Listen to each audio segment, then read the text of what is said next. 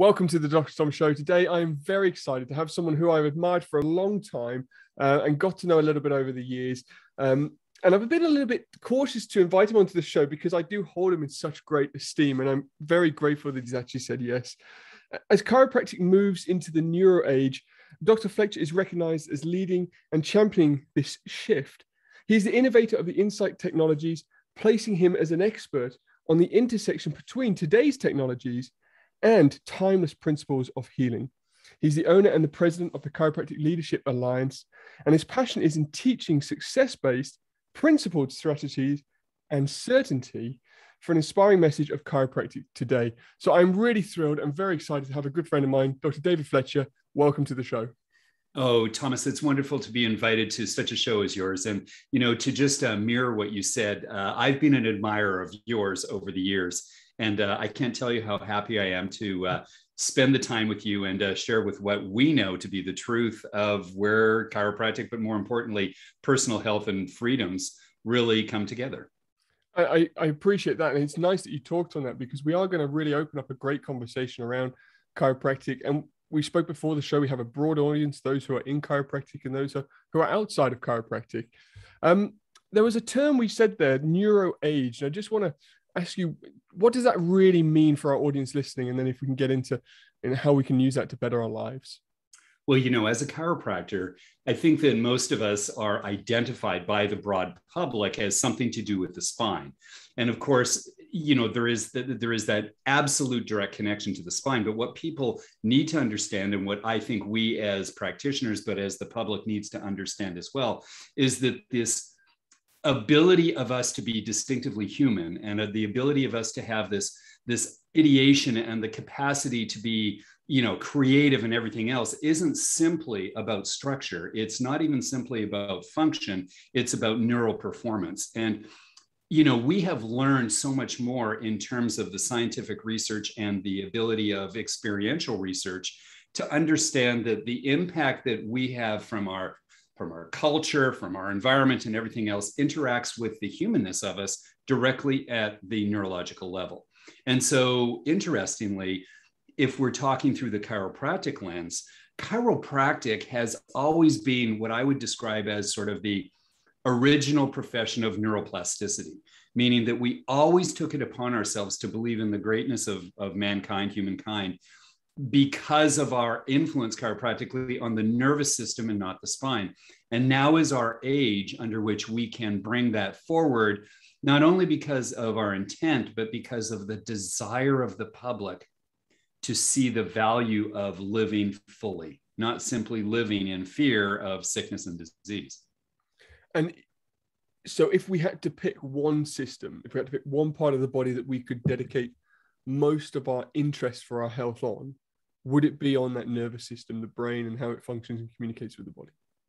Yeah, I think that I think there's no doubt about it. Is that and you bring in the principle of the brain, and I think that if we were to function on a system, it would be wise to look first to the nervous system because not only does it does it create you know physiological function organization and reorganization models in terms of tissues and cells and things of that nation notion but it's that intersectional moment with mindfulness that brings health and and humanness together and that's why this interface of uh, this is why I love chiropractic. You know, my background is in mathematics, and so I'm based upon the sense of logic.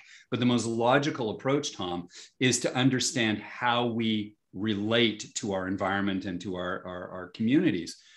And to do that, chiropractic began its relationship with understanding obstructions to neurology, if you will. We described it in many different terms. We described it as the ability of the body to communicate a mental impulse, the not the body, the person to create a mental impulse. Really, this is this whole idea of consciousness interacting through neurology and matter. And you know, we've even got in in our earliest philosophical modeling something called a triune of life. And it was, you know, it wasn't a triune of physiological improvement. It was a triune of what it means to feel fully alive. And it was this this this concept of matter which means that we had to live you know through a with matter that we had to have force meaning that there had to be this this this ability to communicate and to transmit. And then there was this notion of what are you transmitting? And it's intelligence meaning it wasn't confined to you know a, a, a signal in a nerve but it was this idea of of the um, modeling of this this relationship of organizational design that could continuously re, reinvent itself.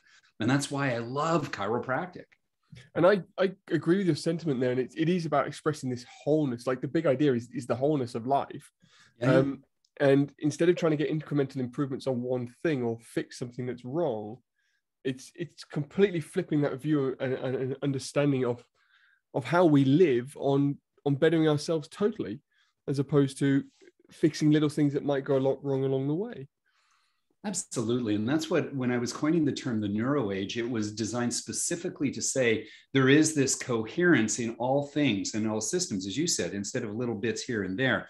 And really, that's this, this notion that if you can find and, re, and, and release an obstruction to this ability of the body to interpret itself in its environment and, and, and exceed expectations in that, in that task, then we have achieved this enormous lift, if you would, in the ability of that person to, to move forward innately, as we call it, or not we call it, but innately, as the term implies, from within. And if you look at sort of our indigenous cultures, North Africa, South America, we, we are living a whole and rounded and healthy life for a long time.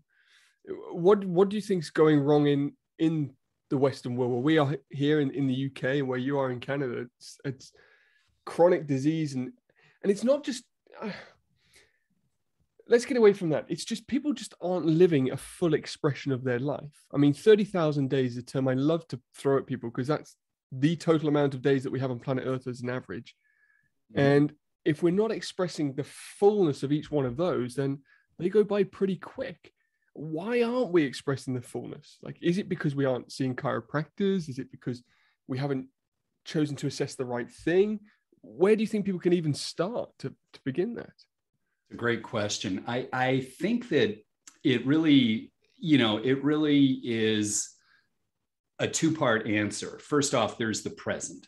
And the present exemplifies what I'll say is what my belief is as to why we become so distracted in the whole principle. Is that part of this, part of the, the mystery and the wisdom of understanding healing and otherwise is the complexity of the systems. And to most people, except for those that have taken time to learn through it, it's a it, it it's so complex that they the mind and the the mind has to simplify things. And of course, the most simple way to to understand health, the simplest way to understand health, and I'm not agreeing with this, is to acknowledge symptom is not healthy. Okay, so it's a very simply simple binary process. I have symptoms and I don't understand it. So I need to find somebody who knows more about what it is that I have. And so there's this abdication of relationship between your body and your health. And this is this is natural or normal because there is this there is this experience of something called pain we'll call it over here because symptoms typically are a disassociation with who we are and it's painful and one of the things that we know is that healing is not done by the hand of a healer.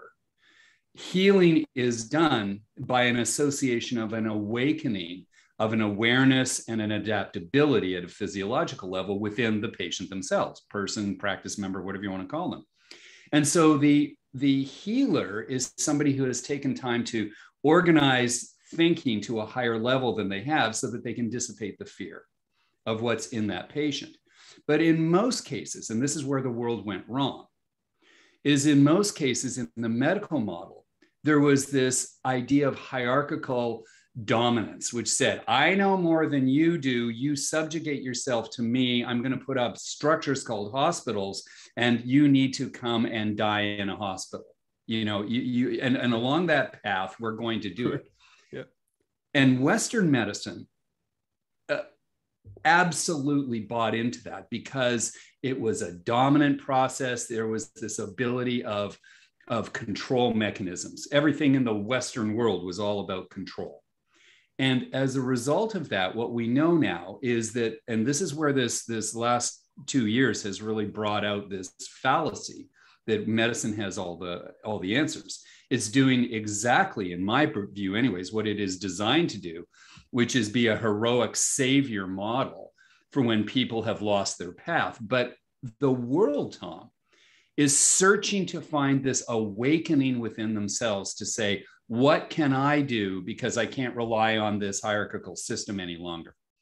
And what's interesting, and you know, you, you sort of introduced me in this in this idea of, of what my role is now beyond being a clinical practitioner is that i run this company that associates with with measuring these obstructions within the nervous system or at least this signaling within the nervous system. And so we have a vast network of, of chiropractors who work with us worldwide. And we did a smart thing about six years ago is that we decided that we would take all the data from all of those thousands of offices and put them into a central server base so we could then review the data. And what I find fascinating is that our brand of neuroage based practitioners is massively thriving in the past two years. The, the, the, the the number of new visits, the number of new patients, the number of, of retention based examinations and everything else, which is data that I collect, is doing a hockey stick. And that doesn't tell me that chiropractic is any different than it was two years ago. Mm. It tells me that the public is different than it was two years ago. There is this great desire for people to find out how to mitigate the fear that we just talked about of not having ownership of your own health.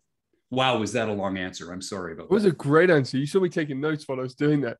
And there's a couple of things came to mind which really is interesting. I think similar to what you said there, people are looking for permission.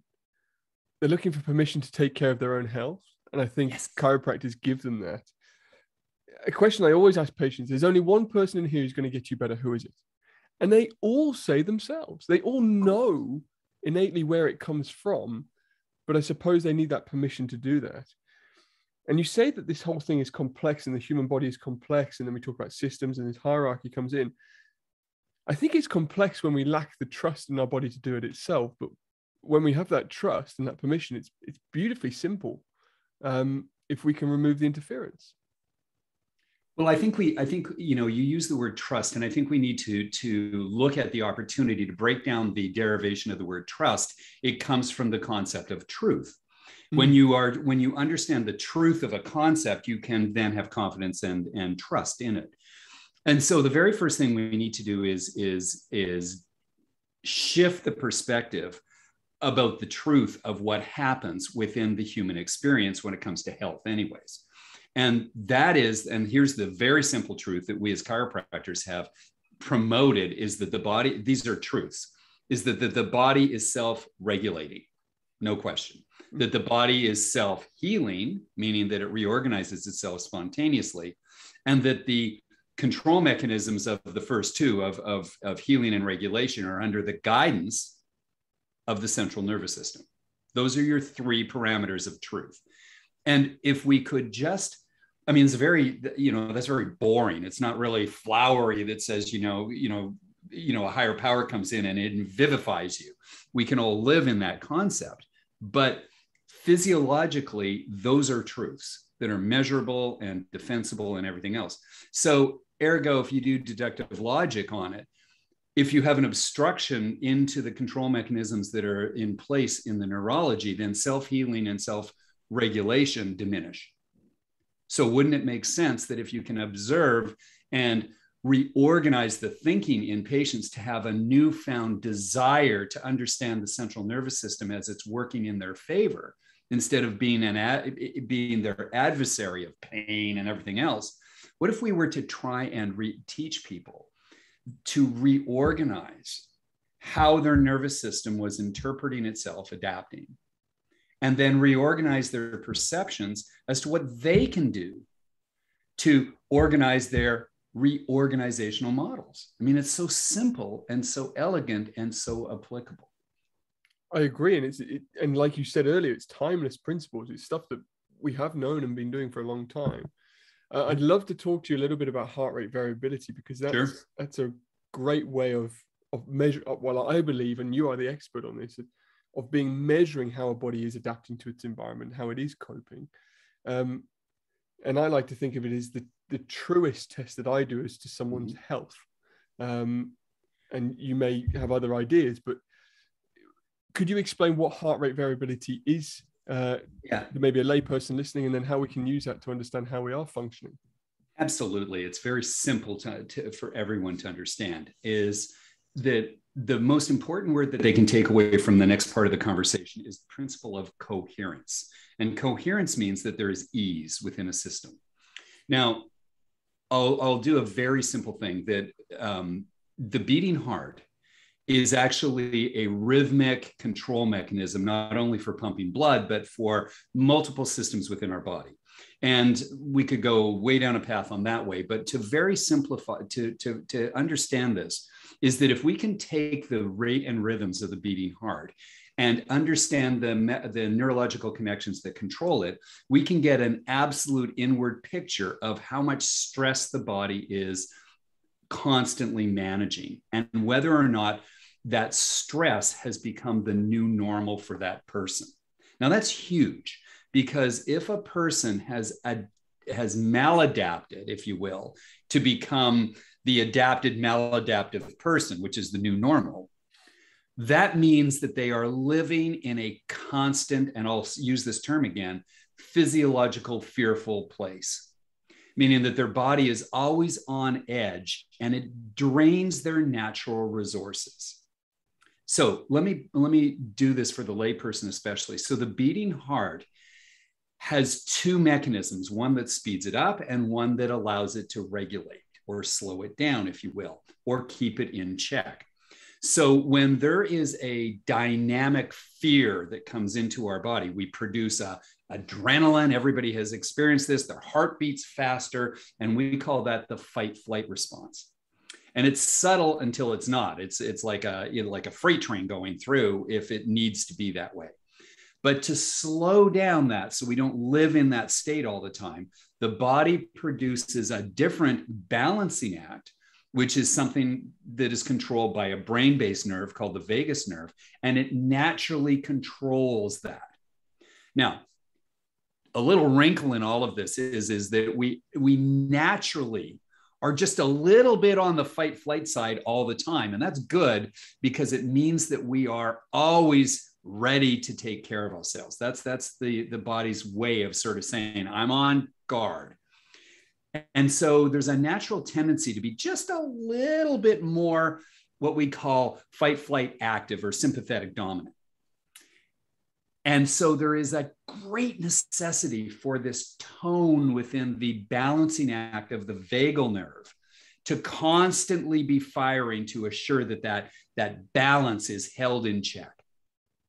Here's what happens is that two things are at play at all times in this humanness is that if a person doesn't learn to rest and and recover properly whether it's from over exercise or bad relationships or traumas or anything else that goes along with this bad eating they constantly turn on the circuits so that they're sympathetically dominant all the time. And that fatigues the central nervous system but there's another dimension that's in there is that that vagal nerve has to traverse from the brain down through the spine to get to the heart and to all the other mechanisms within the body that it controls. And so there are intersectional moments of where this literal physical activity of the nerve is traversing and it is subjected to mechanical forces within the spine. And so chiropractors have devised very, very specific approaches called adjustments, which not only identify but release that, that neural tension of especially the vagal nerve. But it isn't as simple as a wiring harness because nerves produce neurotransmitters. And neurotransmitters are chemicals which which affect and are generated through all different mechanisms within our body. And so when a chiropractor works in different regions of the spine and stimulates or removes obstructions or blocks nauseous input to the spine and the brain these neural mechanisms these are the complexities we talked about are altering this balance between this, this control mechanism of fight flight and this control mechanism of rest and digest and restoration. So by using heart rate variability, which is the most observable test of this natural adaptive response, we can understand a set point as to exactly where a person's life is at. Are they overextending themselves? Are they exhausted? Are they trying to are they trying to live their life with their foot on the brake or are they living their life with their foot on the gas pedal? Are they finding a way to, to find that ease or coherence by the choices they make? And the last thing I'll say, Tom, in this, in this, this model is that here's the most magnificent part about HRV, heart rate variability, when it comes to chiropractic. Chiropractic works when you adjust a spinal distortion that affects the neurology through the through a vertebral subluxation and through a, a spinal adjustment there are study after study after study that indicate that two things happen is that there is a natural recovery of the balance in that neurology and there is an elevation in the activity of the nervous system so that it builds a reserve now, who wouldn't want to know that in COVID times or otherwise? Mm, absolutely. And it, it, it, does show with, you know, just anecdotal evidence that we have in, in our practices.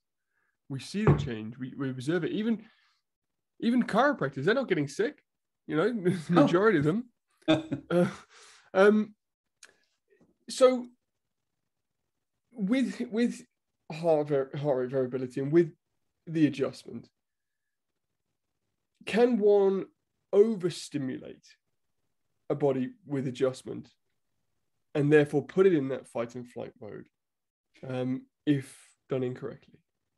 Well, I think that I think that the term adjustment is the key here. And mm-hmm. I think that if you transfer the principle of an adjustment, which is a very specific input with one intention, and that's to release you know it stimulates in in some ways and you know if we have the time i'll talk about this this modeling of uh, of neuroplasticity because this answers the question is you know neurons that wire together fire together. So there's this sense of improvement that goes along with that. But there is also this idea that neurons that don't fire together continue to fire against one another. Okay. So there is a great leveling act. If you impart an adjustment, it is natural for that body to interpret that as a interpret it and then use it to with this new set harmonics and tone within the nervous system use that to rewire those neurons in the concept of neuroplasticity there are two principles that make it work time and repetition. It's unlikely, this is the answer to your question, it's unlikely that you can overstimulate the nervous system because the nervous system is wired to interpret and learn. And in this particular case, the more the merrier. And this is why, you know, we talked about how there's this desire for people to learn how to take care of themselves. One part of that is understanding the mechanism of what's causing obstructions and making lifestyle shifts and whatever else. But the other side of that is re-engaging this plastic notion within the nervous system through time and repetition. One of the one of the things that I see mostly within chiropractic practices is an under management. This answers your question, I think, is an under management of a patient's care plan because they fall back into the how are you or they make a decision on on, on what the care should be. Some of the greatest practitioners you know from from the founders and forward were very clear with it is that the more input you have the faster the body reorganizes itself.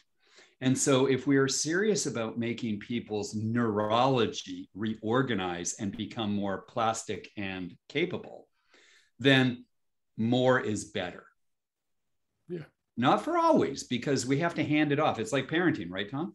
I mean, you can't always do it for someone else. You have to hand it off and make sure that they get it. And so we would love it if we could get this rocket off the ground, which, you know, I think it takes, what is it, 96% of a rocket's fuel to move it the first one foot off the launch pad. Mm-hmm. You know, it takes time at that initial process. But once we get this thing navigating itself, hey, let me slip and check. Let me make sure you're doing where your navigation is. Well, the laws of inertia are just yeah, natural physics, aren't they? It takes time, it yeah. takes effort to get something moving. Um, but also, I suppose, I suppose for for the chiropractors listening, it, it's having a sound understanding of our philosophy that that we are adjusting the body and, and getting out of the way. We're not trying to force that change. We're not trying to, you know, be the hero for the system. We we are simply removing an interference and, and allowing the body to do what it needs. Yeah, and I think that this really draws the attention to the distinction between what our colleges are teaching and otherwise. You know, um, when when you and I were choosing to be chiropractors, we were we were learning, or uh, you know, we we've taken ourselves in this path of where we know the distinction between an adjustment and a spinal manipulative therapy you know it's intentful yes but it's it's it's actually based upon the art and the of the detection and and the adjusting correction if you will a, an SMT has a purpose of managing a fixation within the motion within the spine.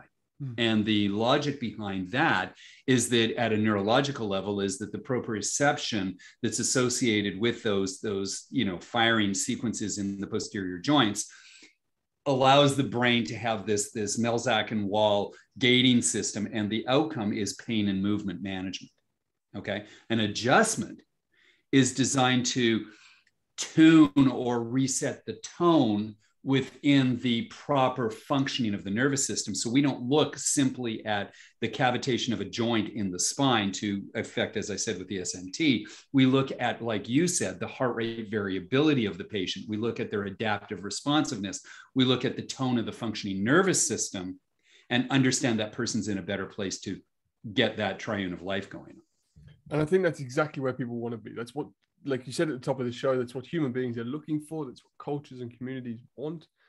Um, you know, there is a shift in age and a, an awakening of understanding who we are as humans and how we are meant to heal, and not being forced to to take on anything or um, trying to say this without getting myself in murky water, wanting to get back to our roots of innate healing and health. And I think chiropractors really are in a place to champion that. And um, certainly what you do helps not only hundreds, thousands of chiropractors worldwide, you know, but tens of thousands of patients as a result of that. And you should be, you know, noted for that. And you should take that, you know, to heart and understand that you are making a huge difference in this world. And I am appreciative of you for doing that. If um if you could leave our audience with some parting words of wisdom about how they could or maybe speak to the chiropractor first and then maybe speak to to the lay person afterwards as to what they can do to improve themselves their practice uh, and their lives yeah well thank you i think that you know directed to both uh, both cohorts of, of people there um, the key word which is why chiropractic is so special is that um, it begins with the principle of greatness. You know, um, our major premise says a universal intelligence is. Those first four words really describe the sense that there is this greatness within each and every one of us.